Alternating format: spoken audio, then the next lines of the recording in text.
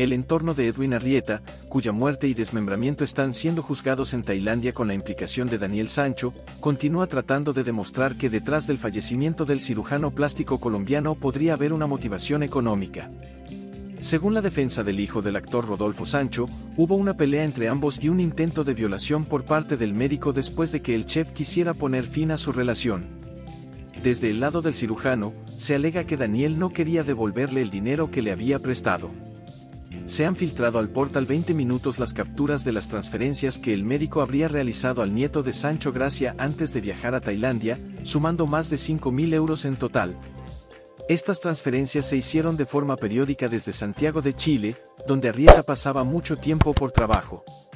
Antes de su viaje al país asiático, habría realizado al menos siete transferencias, según la documentación.